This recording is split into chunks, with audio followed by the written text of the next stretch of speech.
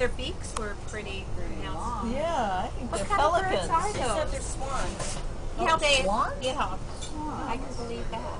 Oh, I breakfast. There you go. Oh, thank you. Did you order treats? Huh? Oh, okay. I did.